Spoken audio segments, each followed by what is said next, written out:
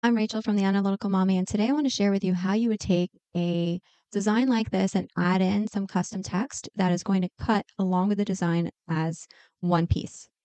So this design I got from Creative Fabrica. If you're not um, familiar with Creative Fabrica, it's a really inexpensive membership site for getting tons of designs and fonts. And in fact, many of the things you're going to find on Etsy are on Creative Fabrica as well. And it costs about $5.99 a month, I believe.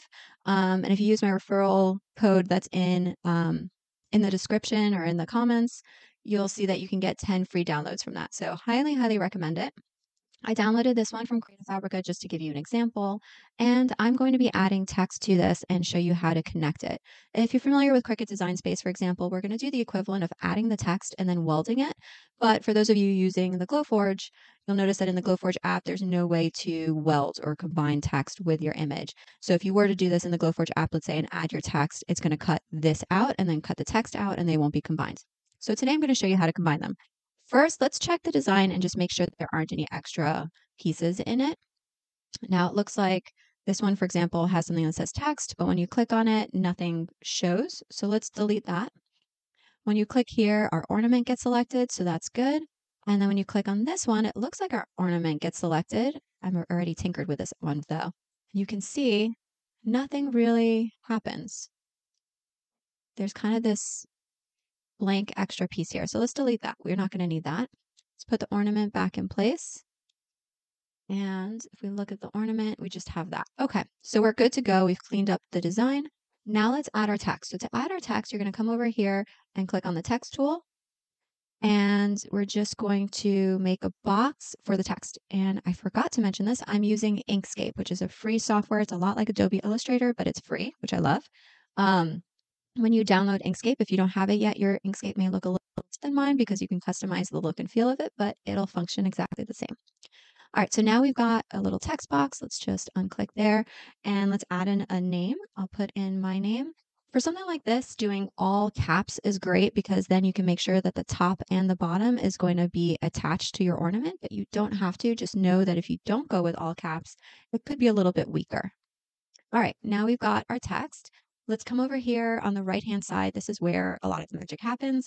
We're going to click over here on the text panel. But if you don't have the text panel option over here already, then you can come up here, click on text, and then text and font. Same thing will pop up. All right, now next, let's pick a font. You can just click through here and pick about any font you might want. I'll just go with this one. I'm just picking something random for the purposes of this tutorial. And then you click on apply. So now we've changed the font. Next, you'll want to adjust your sizing. So there's a few ways you can do that. You can come over here to font size and pick some different font sizes or even type in a font size. The way I prefer to do it is to drag. So let's click on the cursor to get away from the font tool. And now we'll drag. So there's different ways you can do it. If you just start dragging, it's not going to control the aspect ratio. If you hold down the control button and then drag, it locks the aspect ratio. So up to you. Let's say your font um, didn't kind of fit that size well, you might want to not lock the aspect ratio and play with it a little bit. So I'll just do that here as an example. And then pull that into place. Now, what you want to make sure you do is that you overlap a little bit. Let me zoom in so you can see that a little better. You're going to want to overlap your text with the actual image because you want them to be touching so that when we combine the pieces, they essentially um, wherever it overlaps is where they're going to be attached later. So let's make sure they're overlapped well. Click away, and it looks visually like they are. So let's do one little check. You'll come up here to view, and over here to view mode, go to outline. And now it's a little bit easier to see those lines. You can see it does look like they're at the very least touching or overlapping. I think that's probably good, but we'll We'll know for sure in a moment. All right, now before we actually weld them, there's two steps we need to do. Um, first, let's make sure that they're centered. So select everything and then come over here to our align and distribute tool and click on center. Now, this is still a font. It's not an SVG. So if you actually were to import this into Design Space or into um, the Glowforge app, it's not going to actually read the text. It'll totally ignore it. When you're in this outline mode, you can kind of think of anything that looks like an outline as your SVG pieces and anything that's filled in naturally as your non-SVG. Of course, that can change if you're messing with your strokes and fill and all that, but for right now, it's kind of a good visual. So let's convert this to an SVG. And to do that, all you do is you click on this button here, go to path, and then object to path. So let me just review real quick what we've done so far. We imported an SVG, added text, change your font, change your sizing, kind of got it where you wanted, and then convert it to an SVG by going to path and then object to path. And now you see how it's an outline like the rest of our ornament here. Now, if we zoom in a little bit, you can see that the different letters do in fact overlap with the lines at the top and the bottom, which is exactly what you want to see. And now we're going to actually combine it all together, similar to what would be welding in Design Space. So to do that, let's come over here to the Objects panel and look at what we've got to work with that we need to combine. So we have the ornament here, and we have, if you ungroup this, each letter of your text.